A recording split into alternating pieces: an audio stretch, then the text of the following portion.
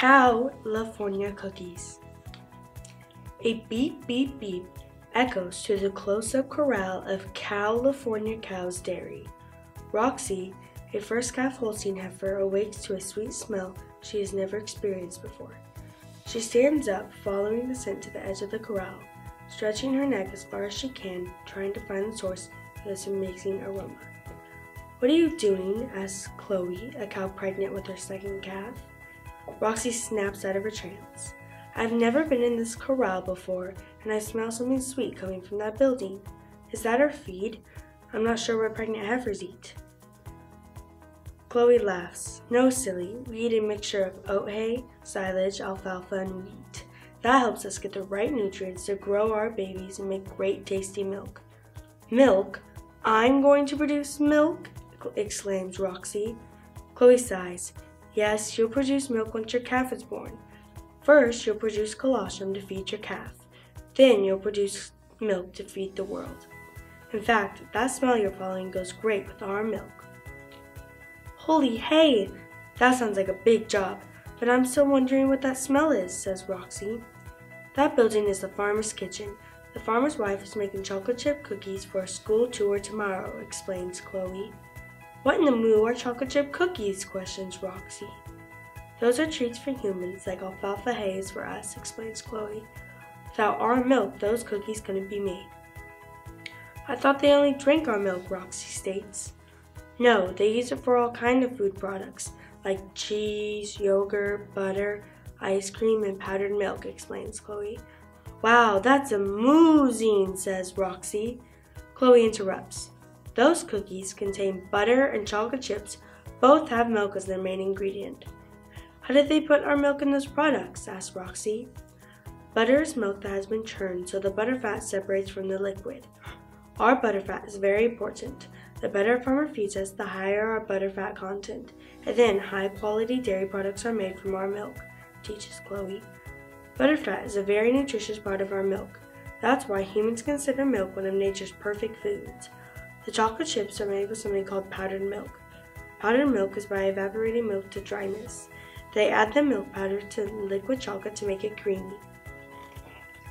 I didn't know that people used our milk to make so many human food products, says Roxy.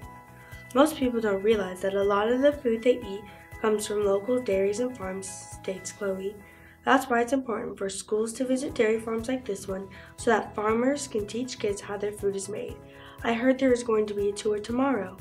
Will we be a part of the tour? asked Roxy. Yes, they always come by the close-up corral, explains Chloe. Without us pregnant cows, the milk cycle stops. The next morning, Roxy awakes to the voices of Gretton's third grade class gathering near her corral. Roxy walks over to find Chloe licking her new calf. Roxy listens as her farmer starts the tour. Good morning. There's no better place to start our tour than at the beginning of the milk cycle with the birth of a brand new calf. This female calf will grow up to produce milk. Her average milk production will be about 2,305 gallons of milk a year, or about 8 to 10 gallons every day.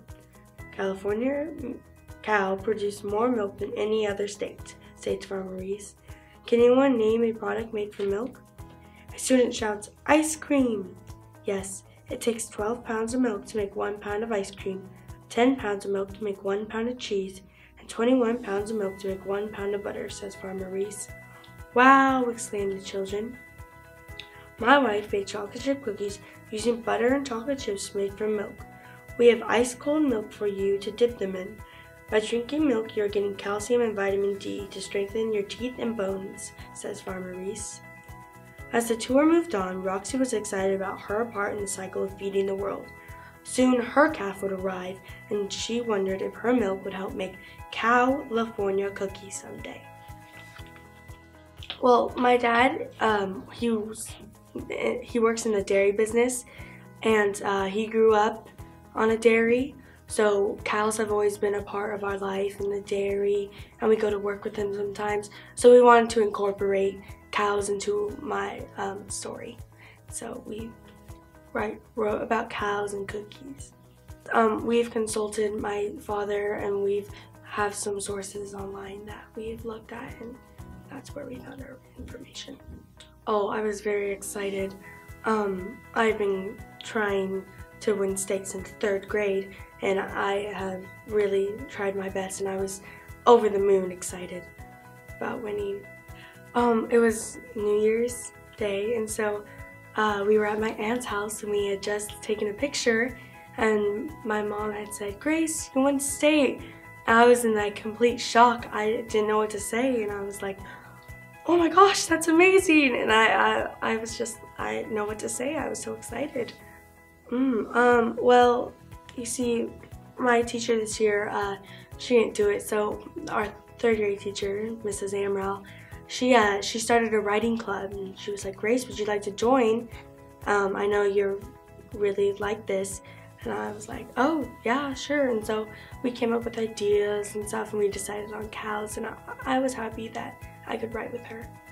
It is very um, useful because I've written about corn and salmon and pluots, and so I have like learned facts and other stuff that has absolutely been like things I haven't even known.